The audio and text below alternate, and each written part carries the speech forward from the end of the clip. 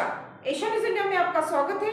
मैं प्रिया, आपके साथ। हरियाणा के पानीपत आए केंद्रीय नागरिक उड्डयन व स्टील मंत्री ज्योतिरादित्य सिंधिया ने कहा कि इस जगह से उनका भावनात्मक संबंध है, क्योंकि केवल उनके पूर्वज ही नहीं, बल्कि साठ हज़ार से अधिक मराठा विदेशी आक्रांताओं के खिलाफ चट्टान की तरह खड़े रहे और प्राण जाए पर वचन न जाए इस विचार से उन्होंने अपने प्राणों की आहुति दी।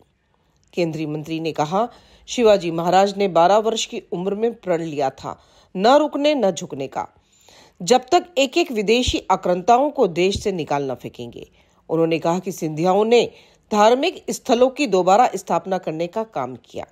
गुजरात के सोमनाथ मंदिर के द्वार को विदेशी आक्रंता इल्मुतिश लाहौर ले गए तो लाहौर से दरवाजे को वापस लाने का काम महाजी महाराज ने किया।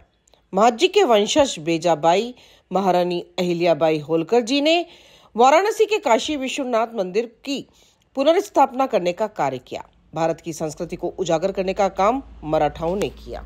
इसी के साथ बने रहिए एशिया इंडिया के साथ। धन्यवाद।